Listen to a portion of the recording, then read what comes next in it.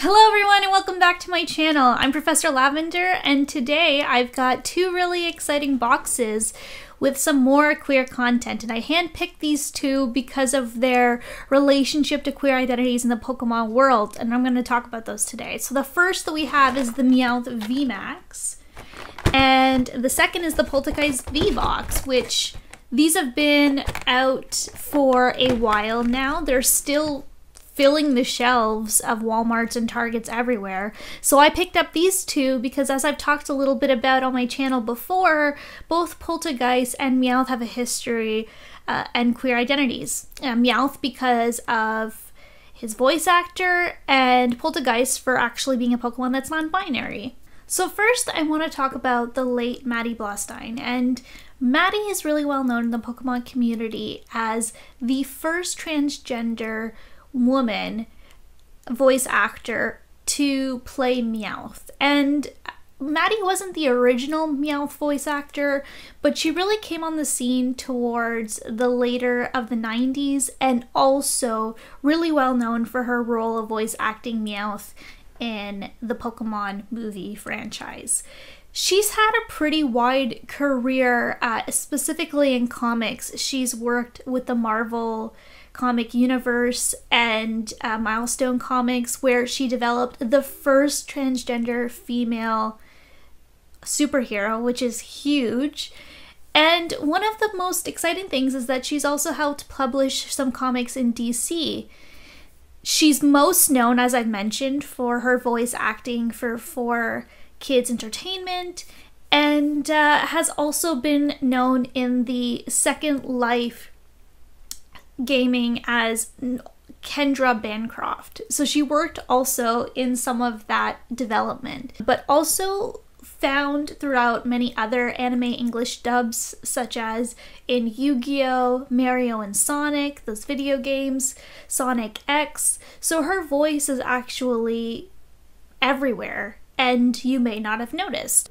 Unfortunately, Maddie passed away on December 11th, 2008, at the very young age of 48 due to an untreated stomach virus. So I wanted to make this video today to not only acknowledge her accomplishments, I wanted to extend my love and compassion to the trans community who've seen Maddie as an icon in pop culture, as someone who has demonstrated success and representation in her characters and in her activism, political work, but also most specifically the work that she has done in these very cultural texts. And that is really one of the main reasons why I picked up the Meowth V Max pack because I wanted to extend my appreciation for Maddie, but also talk about her contributions today on my channel. I wanted to end this section of the video in memory of Maddie by repeating a quote Meowth states at the end of the first Pokemon movie. Maddie and Meowth say, We do have a lot in common. The same earth, the same air, the same sky. Maybe if we started looking at what's the same instead of what's different, well, who knows? And that quote is really special to me, but also special to the queer community and really what we recognize as what's magical and impactful of Meowth and Maddie in that film. As we move towards the Polteageist V box, we could talk about what it means to be non binary. When we look at the definition of non binary, we consider that there are people who don't feel or don't fit within the gender norms or the gender binary of male and female. Or that some people feel as though they blend both. And also, there are people who don't identify with any genders. And people's genders also may change over time. So when we look at Pokemon like Polteageist, Sinistea, some of the fairy Pokemons that are have unknown gender, we acknowledge that there are also people who may have genders unknown or have genders that don't fit what culturally we associate as heteronormative. When we talk about appreciating and supporting non binary people, there are a few very easy ways in which we can do that. Some suggestions include you don't have to understand what non binary means to respect them. Just simply believe and acknowledge that humans have the capability of understanding their desires, their needs, their bodies, and who they are.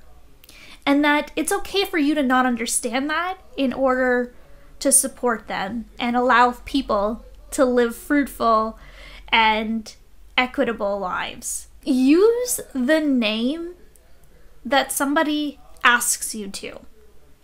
There is nothing difficult about addressing somebody by their name. For instance, I tend to go by Steffi. People don't have a problem doing that. I also now go by Professor Lavender on Instagram. People are still not having a problem doing that.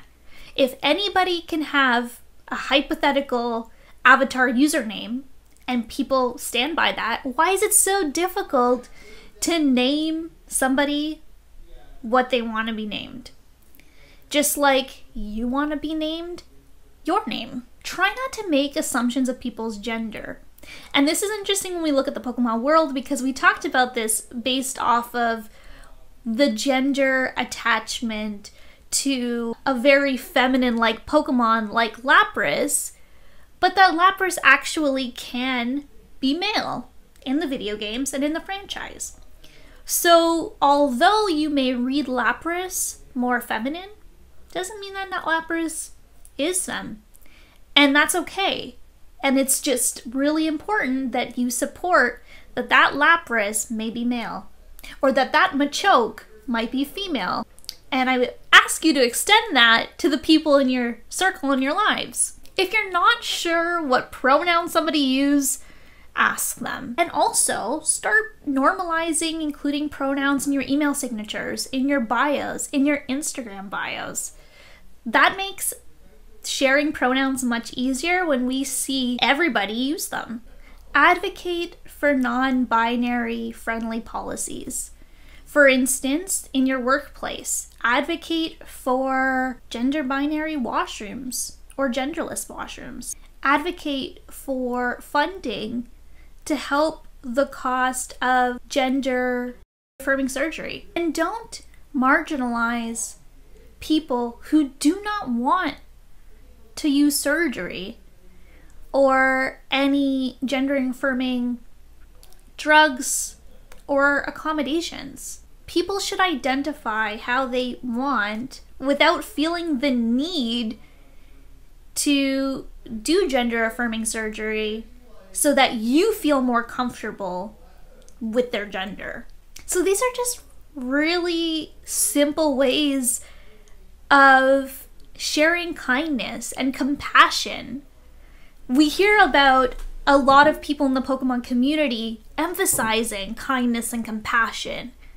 These are how you can do it. Look at Pokemon as being one of the most compassionate stories of friendship and love and acceptance. And use that in your everyday lives. And if you do that, you will be able to save someone's life. You will be able to create bonds and friendship with people who are some of the most exciting, interesting, creative people in the world. Now, to end this on a really fun note, and I promise we're gonna get into box opening very soon. The Apins Pokemon Cafe announced that they're going to be selling Sinistea and Polteageist porcelain uh, figures of teacups and teapots that are actually usable, and that these will be shown in uh, some of the Pokemon cafes. I'm really excited. Uh, I just painted a Sinistea, but I think they're adorable. So if you can get your hands on it, do it. This is something that's really exciting that's happening. So without further ado, I've given you all of your queer facts for the week. Let's get into it. Okay, so I'm gonna start with the Polteageist. I also want to give out a big shout out to this new mat I got. Uh, I've posted it on Instagram. Check out this Etsy store if you want something similar. It is so freaking cute. All right, so I've opened Polteageist V-Box before when they first came out, and I want to say that these V-Boxes I tend to be incredibly lucky in. Now that I said I'm not because I'm on video, but I find them very lucky compared to like the Champions Path uh, boxes that have come out.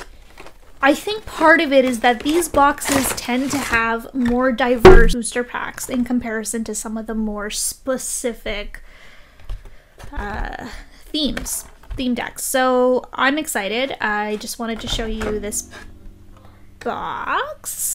So to start, we get the Polteageist promo card like we normally do in these boxes. It's very cute. And then we get the full size, which again are really, really fun. I don't know what people are doing with these. Are you collecting them? I have one framed. Uh, we put them kind of in those comic book slabs. I'm not, I think eventually we're going to frame them all, but I'm not really sure what to do with these. It seems uh, more of like an art collection thing, which I love, for sure.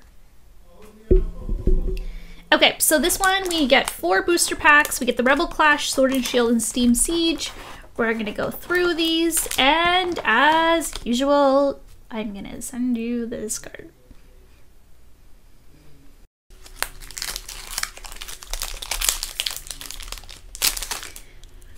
I've been having so much fun with all of you, and I just wanted to share um, some love for those of you who might be in Ontario. We're actually apparently locking down uh, on Christmas Eve and at 1. So I actually usually record these a day or two before Tuesday, so I have time to do some editing, and uh, we're supposed to find out complete lockdown rules in 10 minutes. So, just sending you love and compassion, especially to those of you who, you know, haven't seen your families in a long time and can't see them because of this, but also some of you who may not have support uh, and are struggling because of a lack of work opportunities and just generally feeling unsafe.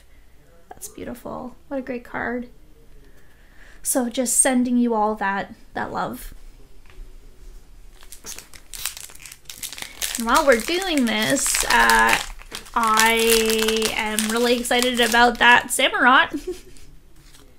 it's a pretty cute reverse holo. Here is the card for you. We got a Palpitoad, Capture Energy, Chatot, a Clefairy. This this Clefairy artwork is adorable. Voltorb, Nosepass. I've actually have never seen this Pokemon before. I feel like that's weird that that still happens, that I have not seen all Pokemon. Wingull, Phantump, Reverse, Holo Koffing, and Chandelure. Um, this one's adorable. I love the Chandelure. We actually build a lot of theme decks here in the house. And one of them that my partner built was like a Halloween creepy deck, ghost deck, and uh, the Lampent and the Chandelure are some of the most seen in it, and the Phantump as well, so that's really, really cute. Alright, two more from this box. Also, very on theme for the Polteageist. The Polteageist is also in that deck, so it's uh, very on theme with this box.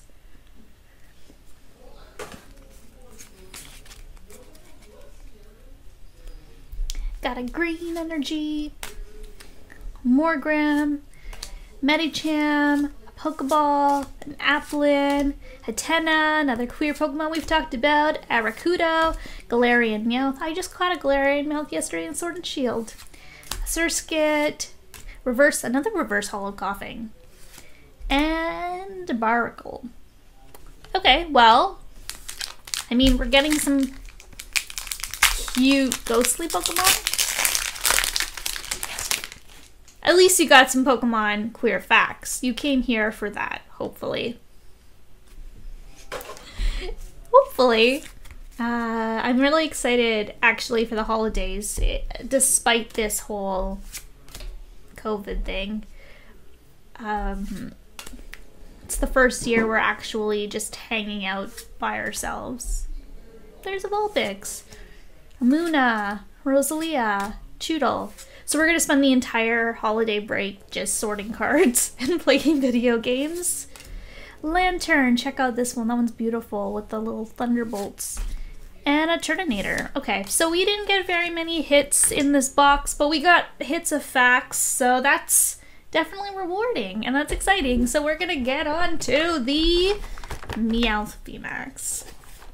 And this one has five packs, so let's see. I know I jinxed myself at the beginning when I said that I usually pull great cards in these boxes. I apologize for that. Makes for an uneventful hit video. This one's particularly stuck together.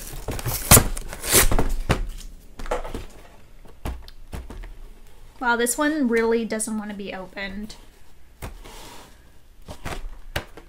Hopefully it's not resealed. Do you ever notice that? Does anyone have any advice on how to find if a box is resealed? Like if it's this sticky, do you think somebody opened it and then glued it themselves? Really kind of struggling with it. The box is pretty actually in pretty rough shape, so let's hopefully we are still able to pull something exciting. Okay, so as we looked at the VMAX, boxes actually have two promos, which are really exciting. At least we have the Meowth V and then the Meowth V Max. So I'm going to show you these two.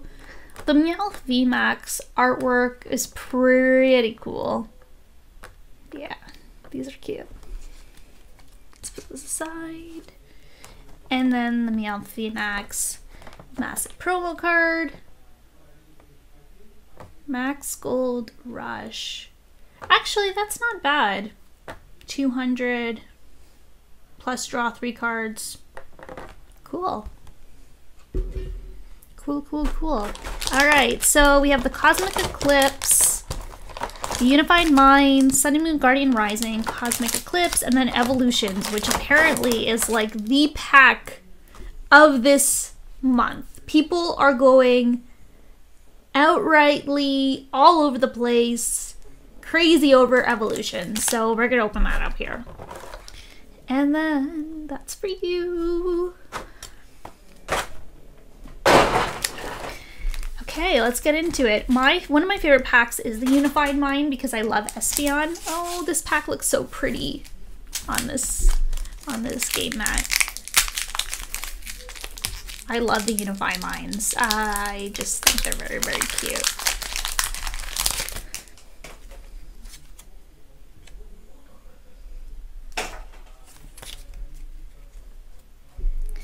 And the energies are interesting too. They're a lot more like, I don't know how to explain it really, like techno, I guess.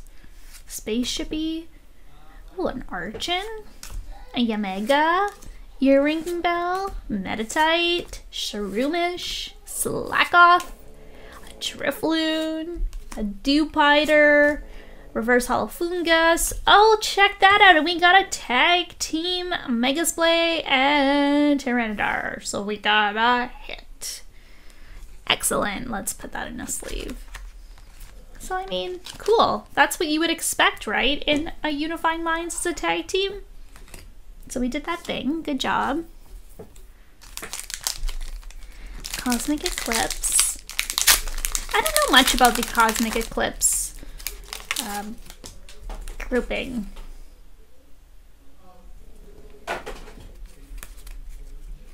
I've opened a few, I just don't know much about them. They also have that really cool energy uh, Kricketune, Adelmes, Island Challenge, Amulet, a Piplup. Oh, I don't have this Piplup. That's cute. And the Alolan Vulpix, Rockruff, Stufful, Rowlet, Reverse Holo Will, and a Dragog. Okay. Okay. We're gonna do Guardian. I'm doing this in no particular order except for the fact that I want to do the two Blastoise at the end.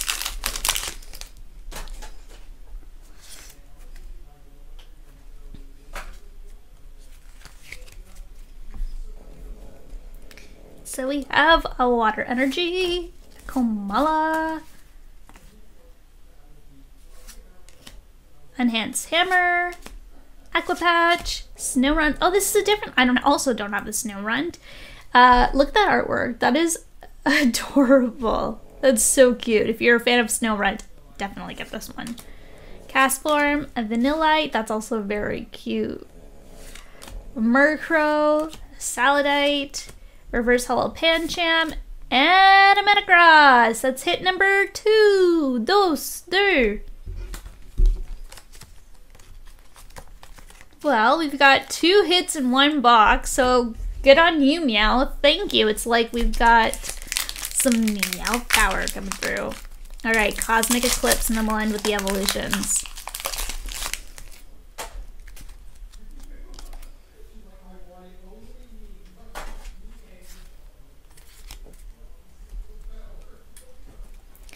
Have a Fire Energy. Ooh, a Flareon. I I've said this, I mean, I say this all the time. I always collect the Eevee evolutions, so I'm really excited to add that one to my collection. Roller Skate, Clefairy, another queer Pokemon, Koffing, a Drillbur, a Swirlix, a Kricketot, a Woobat, a Passimian, oh, and a Volcarona. Okay, so three hits. Three hits out of five packs, not bad. Yeah. I'm gonna say that's pretty great. Alright, well, evolutions. Thank you so much for stopping by. If you're interested in this video, hit subscribe. If you want to follow my weekly content, check me out on Instagram. I open packs, I share cards, mostly through sorting. I find really cool things when I'm sorting. Oh, that's, I feel like this happens to me every single time I open an Evolutions. That I think I sh might shuffle it wrong, but I always start with this. Okay, anyways, that's fun. So we got a Holo Clefairy, Holo Clear Pokemon, a Charizard Spirit Link, a Poliwhirl, Maintenance, Weedle, Doduo, Staryu, Onix, Fairy Energy, and Reverse Holo Eradicate. Well, that was actually really good. That's a I would consider a Clefairy uh definitely a hit. Especially since Clefairy is also considered a queer Pokemon. So that's like pretty great. So let me just show you what we got today as hits. So we got the tag team, the Vol Carona, the Metagross, and the Holo Evolutions Clefairy. So thank you everybody for stopping by and again for celebrating the life of Maddie with me here. I hope you enjoyed this video. Post in the comments if there's other queer things, any questions you have that you want me to address through Pokemon. Sometimes it's more fun to learn about queer things through different avenues. And if you are uh, embarrassed or have questions that you want answered, send them to me and I have no problem answering them here for you. And you can also do the same by DMing me on Instagram with Professor Lavender. And let's just make the world a more kind, positive place. So thank you all again for stopping by. Take care. Happy holidays.